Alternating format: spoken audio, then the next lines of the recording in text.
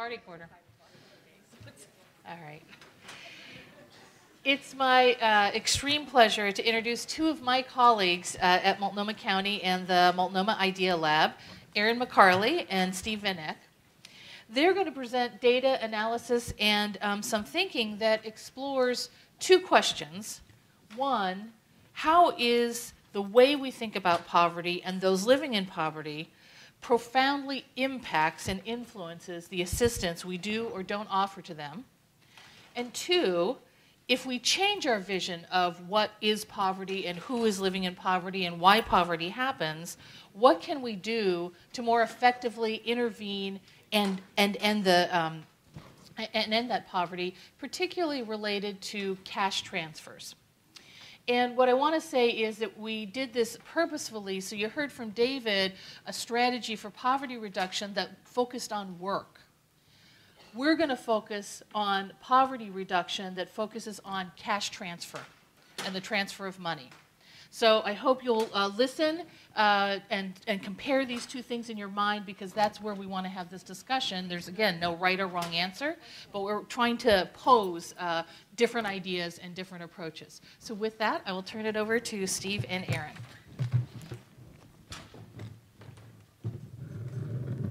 Hi, my name is Erin McCarley, uh, as Mary said, and I work in the Multnomah Idea Lab. And I'm really excited to have the opportunity to talk with you all this afternoon and really to hear from you because with the way that um, Steve and I are structuring that hour that we have with you is we want to raise some interesting questions to which we have ideas, but maybe not necessarily answers or solutions, and then give you all plenty of time to uh, an opportunity to have some some real conversation. Um, so that's the way we'll work through the next um, hour or so cool, I did that right. Um, so we're going to center our center our conversation uh, today uh, around the problem of economic insecurity. Specifically, um, we know that uh, half of Americans will experience poverty during their lives, um, and half of those who leave poverty will become poor again within five years. Uh, we know US, US Census and uh, uh, income data tell us so. And more specifically, and I hope you've seen a lot of graphs today, which has been really exciting for me um, as a data person. Where, where are my data people at? Anybody else? Yeah, right? Okay. So for some of us, this is great. For some of you, this may be traumatic. You may have to, you know, overcome some some stat course trauma. Uh, but for us, this is cool. So um, to break down this idea uh, that uh, many folks, half of Americans, will experience poverty at some point in their lives, and many of those who escape poverty, who leave poverty, I should say, will, will churn back into poverty, wanted to display this, this graph, which I think makes this a little bit more um, concrete. Um, so on the right hand axis, we have um, uh, household income in quintiles. Quintiles are fifths or 20 percent of, of the whole. Um, on the far left, we've got uh, the first quintile uh, ends at about $20,000 a year. Um, the top quintile is $100,000 a year and up. Um, and of course, that right tail that trails out could trail out much, much further, right? We've got Bill Gates, we've got Jay Z out there on the far right, right? Um, in territory that most of us will never visit, okay? But that's that, uh, that's that axis. Um, and on the uh, y-axis, we've got number of households, right? So the more blue, the, the greater number of households. And so to break that down further, we've got um, this as this uh, graph displays that median income is at about $61,000 a year. And again, stat class, we remember median is the point at which that splits the distribution in half. So half of Americans make less than 61,000, half make more. But we know when we think about poverty that poverty isn't defined by being in the, the bottom, the, the lower median, right? We know that poverty, at least in terms of many of the benefits that we provide, um, is defined by the federal poverty limit. That's that red line that cuts down uh, the center of the, of the hump there at the end, that magic 24 5 that BJ Walker was talking about this morning, about $24,000 a year for a family of four. And so what we see is that many families may get above that, um, that red line, but due to circumstance um, and a whole lot of factors that we want to talk, touch on briefly, uh, many families will head back into poverty. And so that's that, that churn, for lack of a better word, um, that we see. Yeah.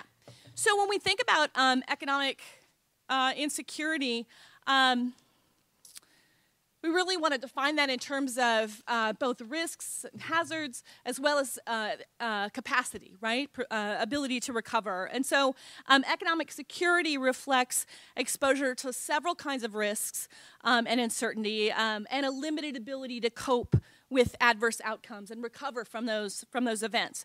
So we might think of those risks um, in a few different ways. So one kind of risk is those uh, idiosyncratic kind of risks that we uh, we may face. So, illness, accident, uh, job loss, right?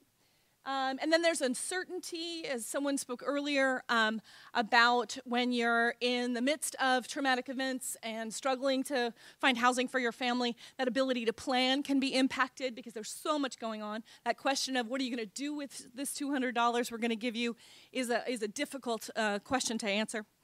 Um, and occasionally, as we all know, and I think you all deal with this regularly, um, these uh, events can throw can cause this kind of chain reaction um, where um, a, a, person can be kind of circumstantially pushed back into poverty or into po- uh, into worse poverty. Um, car breaks down, can't get to work, lose your house. You see the, that kind of uh, a chain reaction of events uh, fairly fairly frequently. Um, and while when we think about accidents, illness, job loss, um, for some of us, we have insurance and uh, benefits that support us in those situations, right? I hit a deer in November. Um, I'm fine. The deer did not do well. Um, I have car insurance, right? Um, and I have coverage so I could get my car repor- repaired. I have those kind of supports, right? Uh, but many folks may, may not, and then that becomes a financial burden that that family has to face. Similarly, we, well, many of us have unemployment insurance if we're in the kind of jobs that have unemployment insurance. My husband, who's a carpenter, does not, right? So unemployment for him means something very different. Um, so when we think about these shocks, some of us have the capacity to cope with them, supports that help us to cope with them that others uh, may not. Um, so ultimately, to be uh, to kind of summarize, then we would define security that basic income security means having the ability to limit our exposure to those risks, um, and then when required, the ability to cope with those risks and to bounce back um, from the outcomes um, of those risks or of those um, challenges.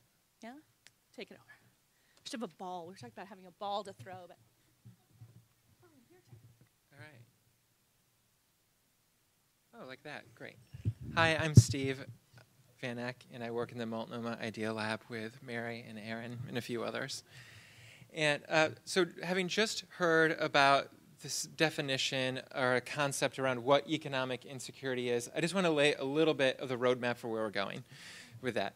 So, um, we're going to talk about some of the basic policies and plans and projects that we have had, and all of us in, our, in this field are engaged with. And uh, I want you to think about those different projects and plans and policies and programs that you are a part of or familiar with uh, as you listen to this talk and as you engage in discussion.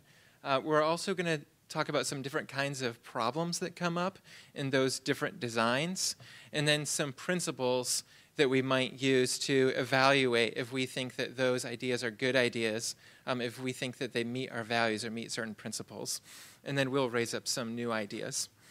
So, so um, a few different kinds, sort of a framework, a few different kinds of ideas around what these designs might include would be uh, programs to address economic insecurity that are conditional. That means that they ask for some kind of behavior on the part of the participant or the part of the recipient. They might be conditional um, on not just on the behavior, but also on what that benefit is spent on and how it's used. So, a real basic concept there around what is a conditional program. Uh, there's also programs that might be designed for a certain kind of person or a person who's a certain group. You know, these would be targeted programs programs targeted to a person whose income is below a certain threshold. In that case, a design would include a means test to make sure they're in the group. Um, other kinds of programs might say that this is a program only for a person that has these kinds of characteristics. Um, we might think of WIC, for example. This is a program targeted to people who are mothers. If you're not a mother, so you're not getting WIC. Um, so that's a different way of kind of thinking about that. There's also policies um, and programs that might be universal. So those are for everybody. And in that case, we would think of those who are included as those um, who have a right to that program or to those benefits. So we use those kind of tools as we think through these different designs of programs to address economic insecurity. So right now, I just want to uh, take a few minutes at your table and think through some of the policies that you're familiar with, some programs that you may work with, and let's use these terms to describe them.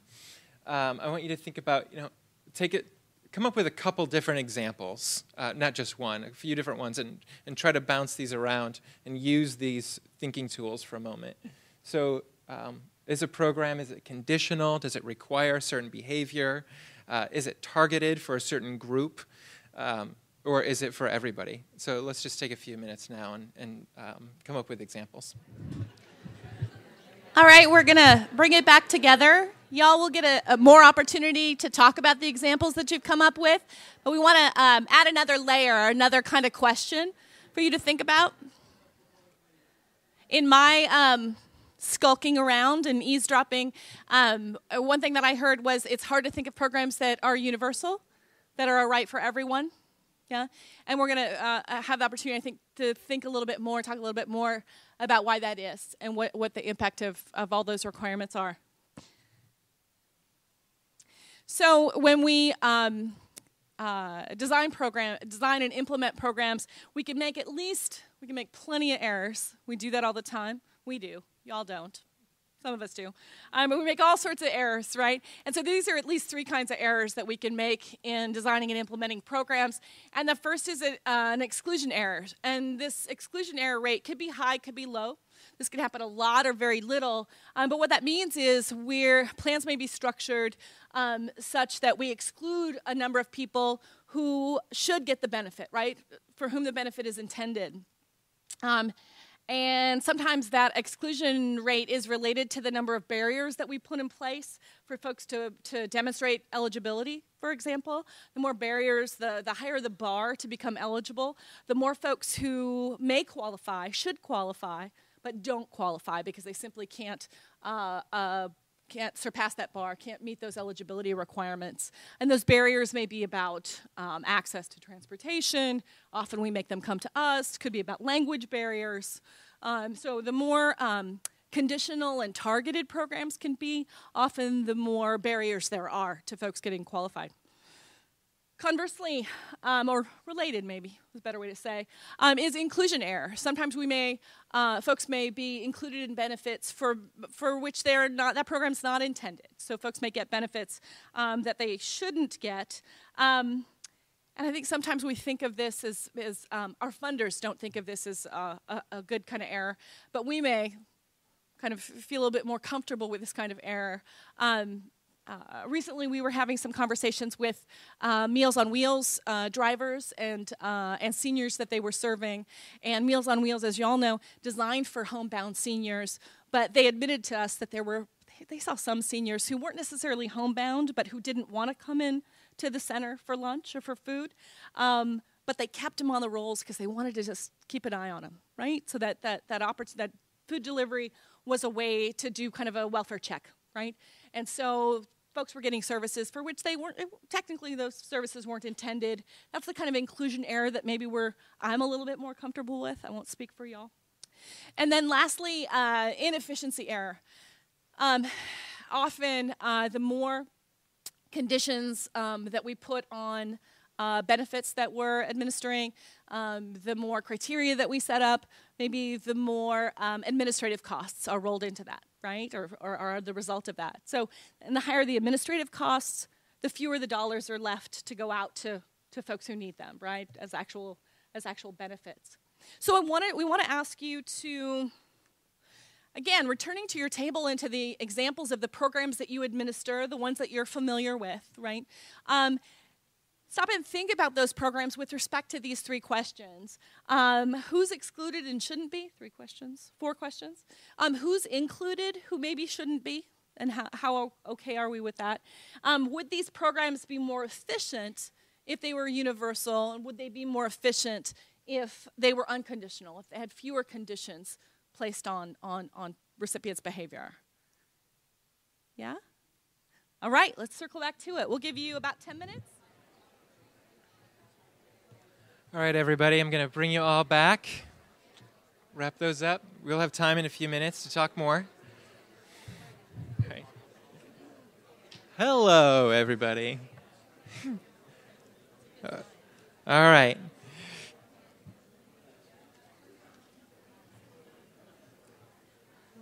Hello, everyone. Coming back. All right. So, I'm going to um, talk through a few different principles, and then we're going to get back to discussion again. You're having fun.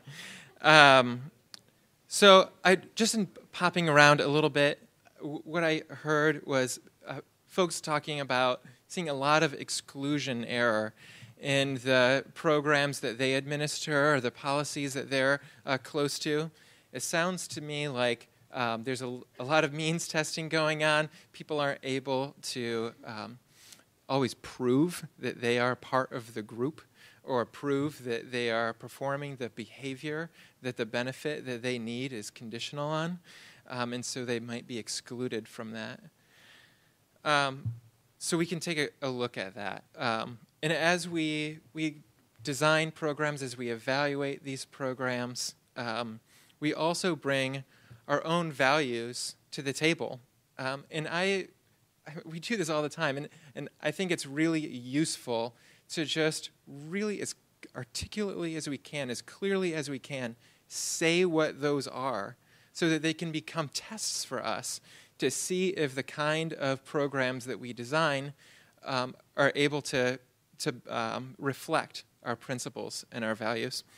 So I would challenge you all to take a look at your own values and principles that you use to assess whether you think um, an idea is a good one or not. Um, but I'm going to just run through four different principles that uh, we've been looking at. And among those, the first is this idea of the security difference principle. And this was developed by John Rawls in the 70s. And uh, essentially, this idea is that a policy or program is just only um, if it improves the security of the least secure person in society or the least secure group in society. I hope that is a low bar. Uh, um, but not always, unfortunately.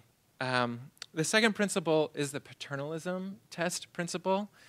And this one can be a little harder. Uh, this principle uh, would say that a policy or a program is just only if it doesn't impose controls uh, that are not imposed on the most free groups in society. And in a minute, um, we're going to go back at these examples that we've been talking about, and we're going to run these principles as tests. So start to think about that. Um, the next principle is the rights, not charity principle. And in this principle, um, and I think this was developed by John Stuart Mills, um, and this principle would say that the person who's the recipient of the benefit has a right to that benefit, and that it's not really up to the bureaucrat or the philanthropist. Uh, it's not willy nilly up to them at their discretion, um, but rather a policy or program would be socially just if it enhances the rights um, of the recipient and that it limits the discretionary power of the bureaucrat or of the uh, philanthropist in that regard. Finally, the dignified work principle. Um, this is a two part principle. Um, and it's a little more uh, tricky, really. Um, this principle says that um, a policy or program is just if it doesn't impede people from pursuing work in a dignified way. Uh, and I think that we, at this point, would have to kind of ask ourselves, especially after the last talk, how we think about dignified work Is dignified work uh, work that's safe? Uh, is it work that, uh, that helps you become self sufficient? Is dignified work always work that pays? Um, is housework included in dignified work? I think there's a lot of questions for us, um, and I think that it's useful for us to nail those down for ourselves and answer those questions as we use these uh, four different principles as a test to evaluate our own programs and policies. So take the next couple of minutes uh, at your table. We're going to go back into discussion and uh, take a look at these questions. Um, does the program uh, meet each one of them? And go ahead and run through the, the list, and we'll come back in a few minutes.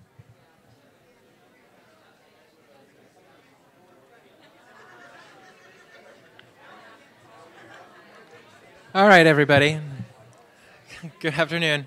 All right, let's come on back. We're going to keep working here. We've got a, a little bit further to go. All right. All right, hello, everybody. I'm coming back. All right. So, um, we just used these thinking tools um, to take a look at some of our own programs and our own policies. Um, and now I want to use these same thinking tools to think about some new ideas. Um, but you know, chief among them uh, is the unconditional cash transfer question. So, what would an unconditional cash transfer be? Well, we were just thinking about conditionality would be a program that's tied to behavior and it's tied to a specific kind of benefit. In order for a program to be conditional, you not only have to behave in a certain way, but you have to spend it on something specific. Uh, I think a, a great example of this is college scholarships, actually. So we might say, um, we would like uh, you, you know, a recipient, a possible recipient of a college scholarship, to get all A's.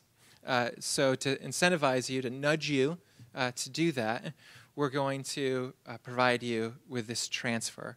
And not only do you have to get A's, but you have got to spend it on college. So that's an ex- a, sort of a classic, everyday example of a, of a conditional transfer. Um, and we all have a lot of conditional kind of transfer programs. As I was walking around and sitting down with a lot of you, I heard a lot about testing and making sure that people behaved in the way that they're supposed to behave in order to get the kind of benefit that they needed uh, in order to get themselves out of economic insecurity. Well, um, we would like to uh, say a lot, if we could, about unconditional cash transfers. But it hasn't been tried much. Uh, I'm a researcher. I, I try to um, to know the best I can, you know, before going out and making a claim. I try to really be sh- sure about it. But in the case of unconditional cash transfers, before I could say anything about it, I went and looked around at the kind of unconditional cash transfers that had been done, and there sure are not many. Uh, there are some that have taken place as um, research projects, and those mostly are in uh, sub Saharan Africa. Uh, there's one notable one in Kenya. And what that, those, that study specifically, the one in Kenya, but a lot of the other ones, what they found was that if you would like to see a really specific outcome, if you would like to um, really move the dial, conditionality works. It works great, actually. So um, you might say, let's increase um, college attendance. Well, we should increase test scores. We should increase, uh, we should nudge them to get A's. And that can tell us a whole lot. These studies tell us that people um, really respond to that. But I actually, I kind of want to go all the way back um, for a minute. we, when we first started talking about economic insecurity, we talked about different kinds of risk and different kinds of hazards and, that people are exposed to. That might be a financial collapse in the market. Uh, that might be a hurricane, you know, hitting the region that you live in. It might be something um, social and systemic like racism. And certainly there's a lot of evidence that shows that racism has been a huge driver for um, keeping people, uh, not only in some people in poverty, but help uh, keeping from, uh, people from getting out of it in some instances. So there's a lot of different causes. We talked also about these covariate causes. And we are so familiar with this. You know, one problem leads to another, right? And this would be the case where you say, uh, for example, um, I'm a construction worker, right? And I've got to get to work, and my car breaks down. Well, if I can't get to work, because my car broke down, am I going to get paid? Maybe not, uh, probably not. If I don't have the money, can I fix my car? Before I know, I might have not only an income problem, but I might have a housing instability problem on top of that. And maybe household uh, tensions might rise and other problems. And, and a lot of people in poverty are really familiar with this. You, know, you just trip over one thing after another, and um, problems get worse. And in this case, we would want to say, let's do the most strategic thing that we can do to help this person become more economically secure. So, where's the strategic investment in this story? It's in the car. All right. Let's use the tools to build a program for making this strategic investment.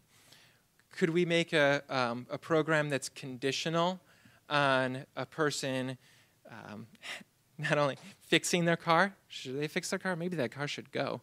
Um, maybe they need to get a new car. That's another complication to the program. Uh, we might have to means test them to find out are they uh, eligible for this kind of thing. Uh, who could be in the program and who couldn't be? Could it be targeted? Could it be for everybody? And a lot of different questions come up. And you know, there's sort of some complicated reasons for why we don't have a lot of programs that address fixing cars for people when it might be a very strategic uh, kind of investment. Well, what if we just gave them the cash? Yeah. What if it was unconditional? In that case, they might be able to make that investment themselves. So, this raises a couple questions, um, but it really has to do with the questions that we face when we look at the way that we think. Um, people have talked over the morning about the history of poverty in the United States. We've had many, many decades of trying to address poverty. And some might say that some of the persistence has been uh, due to how we think about it. So, what are some of the questions that unconditional cash, cash transfers bring up? One is Do we think that uh, people who are living in poverty are capable of making the smart investment? Do we think that they're able to identify in their own lives the most strategic way to get themselves into economic security? Another question would be Do we think that we know better what that investment would be more than they do? Thanks so much. Any comments, uh, reflections that folks want to share? Right here. We got to here. Mics. Okay. All right. Who are you and where are you from? I'm Lydia Sanders. I'm the homeless liaison for Battle Ground School District. I'm also the chair of the CAB board. Can you guys hear? No, here. You got to take the mic, sis. You got to turn it on. Here you go. Okay. Thank you. So I'm just curious if you did any research related to unconditional cash transfers. So never mind all of our programs for a minute. When most of us have gotten into a jam, who's the first person we call? We call our family, right? Or our friends.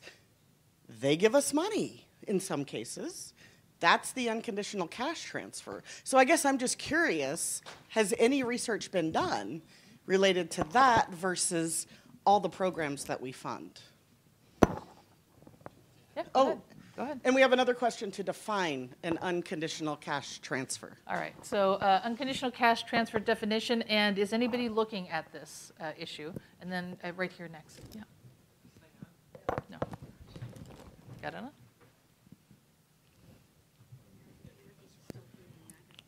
All right. Um, thanks so much for the question. Um, certainly spent a lot of time looking in, into this, and um, there are, I think the best research out there is proxy research. Like I think that what you're bringing up is a really great example of that. I haven't seen specifically um, in, in the case of family members, but I think the more ubiquitous and more well-known re- proxy research would be in the case of earned income tax credit research. So this is um, a program at both at the state and federal level where people who meet certain thresholds uh, are able to receive cash. And we have been able to learn quite a bit about how people spend the, those resources. Generally, the literature on that is split into two camps. Those camps are down, um, due to methodology. One is these massive surveys that are done of all consumers in the month of February, where most people spend that money. Um, they have tended to see that there is a small uptick in some like entertainment type categories, but by and large, a lot of the consumption that goes on in that month, especially at the beginning, and we think that people who get those those uh, credits get them right away because they know they can get them, um, spend them on assets. That's consistent with the research that was done from randomized control trials in uh, the few places where it was tried, um, especially in Kenya. The other body of research, uh, just surveys of people who got, uh, got that uh, benefit, had really similar results. Essentially, the, the sort of like the story, in a sense, is that, yep, let's go out to dinner, and then let's put it towards those things that we absolutely know uh, we need to take care of, like fixing the car or something.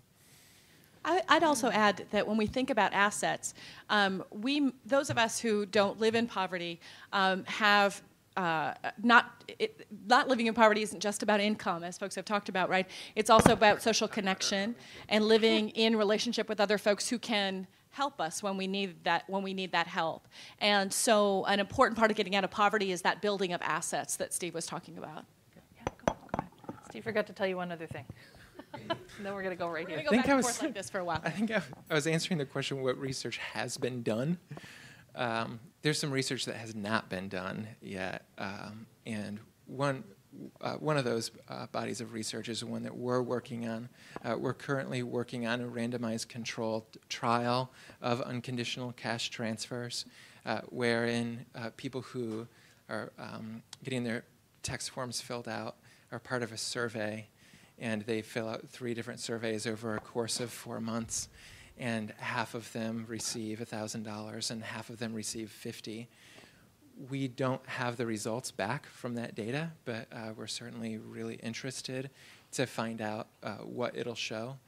Uh, specifically, we're using uh, CFED's uh, body of, of questionnaires around financial behavior and financial attitudes, and have also added in some measures around empowerment. Uh, we're really interested to find out if um, the benefits of being able to plan and then uh, act on those plans has other benefits um, outside of just the cash. So we'll be looking into that. Oh, thanks. The unconditional cash transfer is simply cash that's transferred without asking for any specific behavior around that uh, transfer. So if um, you were to give me an unconditional cash transfer, which I would like, um, then you would just be giving me money, and then I would be walking away and doing what I want with that. Okay. My, uh, some of you may have heard uh, this conversation about a universal basic income. It's the same concept. Let's go right here. Hi, I'm Keith Kueny. I'm with uh, CAPO here. I do the energy policy for the state of Oregon. Um, I like this conversation around universal basic income. But um, as a community action person, I think one of the things we pride ourselves is the ability to pull in programs and and uh, leverage and braid. And with a universal basic income cash transfer, we lose possibly that face-to-face connection with the person in which we can see if they have gangrene or an infection and get them into other services how do you make that up if we're just going to give people a universal basic income do we lose them forever if they're in squalor? How do we get them out of their house? Is how much benefit is it to come in and see them face to face?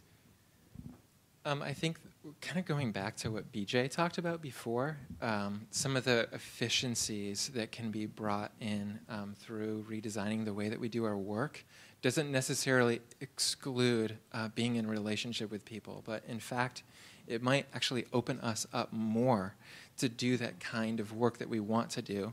I certainly hear a lot um, of caseworkers saying that I do I spend too much time on paperwork and less time in relationship.